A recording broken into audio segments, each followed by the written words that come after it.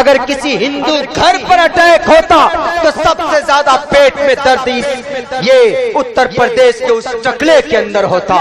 سب سے زیادہ یہ لال بجکٹ ڈانس ڈانس اپنی کرسی بچانے کے لیے پلوامہ میں اٹیک کراتا ہے۔ اپنی کرسی بچانے کے لیے گڑگاؤں کے اندر، ایک مسلم خاندار کے گھر کے اندر، ان کی ماں تھی۔ ان کی ماں نے کہا گڑگاؤں کے اندر ان ان بہروپیوں سے کہ میرے بچوں، ہمیں معاف کر دو، ہمارے بیٹوں نے اگر غلطی کی ہے تو ان کو معاف کر دو۔ ہم پاکستان تو نہیں جائیں گے، یہیں پر رہیں گے، لیکن ہم اس گھر کو بیچ کر چلے جائیں گے۔ ہم جھگڑا نہیں کرنا چاہتے۔ ایک ماں تھی وہ۔ جو اپنے بچے کی بچے کے اوپر ظلم نہ ہونے کے لیے بھیک مانگ رہی تھی۔ لیکن کون سے کون سے چکی کا آٹا نفرت کا آٹا کھلا کھلا کر ان کے دل و دماغ کے اندر نفرت بھری گئی۔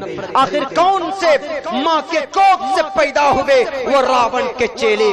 وہ نفرت پرست لوگ۔ پتا ہے اس ماں کے ہاتھ میں کیا کیا؟ اس ماں کے ہاتھ میں زور سے نیزہ مارا، آر پار کر دیا۔ ابھی بیس مارچ کی بات ہے، یہ بہت زیادہ دور کی بات نہیں۔ کہاں پہنچا دیا گیا نفرت پرستی کی وجہ سے ہندوستان کی سبھیتا کو جو ہندو اور مسلمانوں کے بیچ میں تھی؟ اس گھر سے ایک بچہ باہر نکل کر پڑوس کے گھر میں اپنی جان بچانے کے لیے گیا اور کہا کہ ہم کو یہ رنگ دے دو تھوڑا سا تاکہ میں اپنے سر پر لگا لوں گا، منہ پر، تو میں بچ جاؤں گا۔ مجھے پہچانیں گے نہیں وہ لوگ، مجھے نہیں ماریں گے۔ لیکن پڑوسی کے لوگوں نے بھی اس بچے کی مدد نہیں کی۔ سترہ منٹ تک چیختے چلاتے رہے۔ کوئی مدد کے لیے نہیں آیا۔ آس پاس کے لوگ کتنی نفرت پھیلا دی ان دجالوں نے۔ ان نفرت پرست لوگوں نے۔ آپ پھر بات کرتے ہو انہیں کے اقتدار کی۔ آج تم بات کرتے ہو اپنی کرسی بچانے کی۔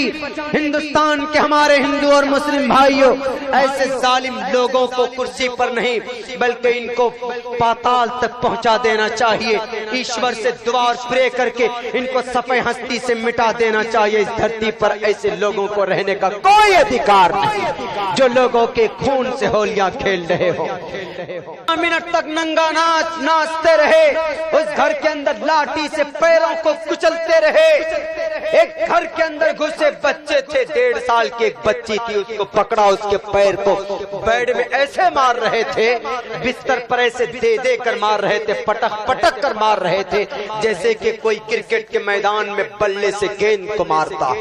کون سا گناہ تھا ان معصوم بچوں اور بچیوں کا؟